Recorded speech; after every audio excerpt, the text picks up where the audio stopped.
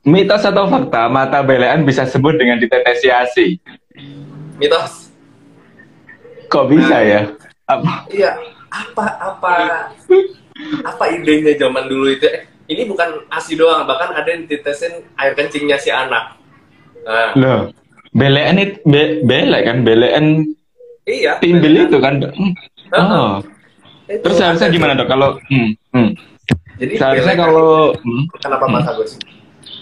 harusnya gimana itu kalau belean itu penanganan Nah, yang jadi- tepatnya?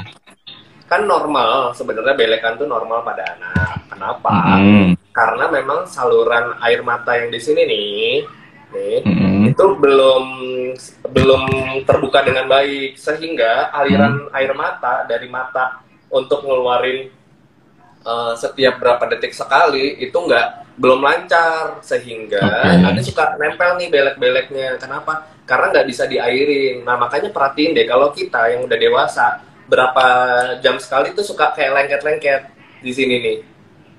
Itu sebenarnya belek yang udah kena air mata jadi dia ngalirnya begitu. Nah sedangkan pada anak air matanya itu masih belum bisa keluar dengan baik sehingga nanti Hmm. jatuhnya kering di, di pojok-pojok. Oh. terus diapain tinggal ditetesin air mata buatan.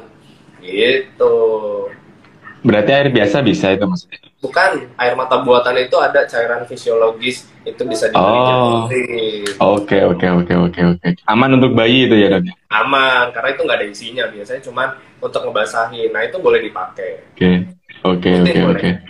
Siap siap siap. Eh hanya dipakai saat belean atau sebelum belean boleh dipakai? saat belekan aja Saat belean. Oke.